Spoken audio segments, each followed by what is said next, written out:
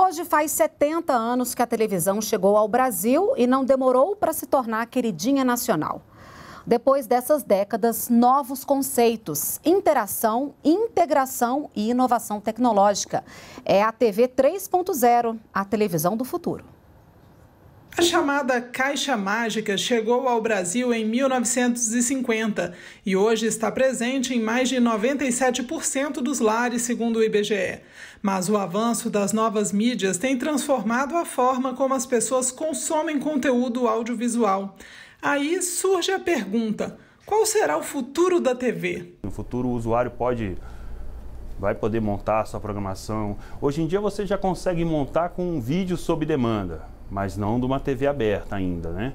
Mas daqui a pouco, sim, daqui a pouco acho que o usuário vai poder montar o que ele quer ver, a hora que ele quer ver e quando que ele quer ver. Além de equipamentos com cada vez mais qualidade de som e imagem, a TV tende a andar lado a lado com a internet para garantir maior alcance, consumo e interação com os usuários.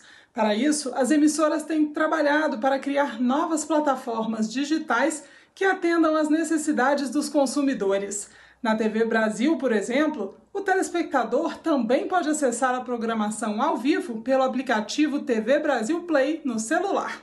Nós iremos ver essa integração da internet com a TV aberta, um ajudando o outro, socorrendo o outro, e que isso só, só o Brasil só tem a ganhar.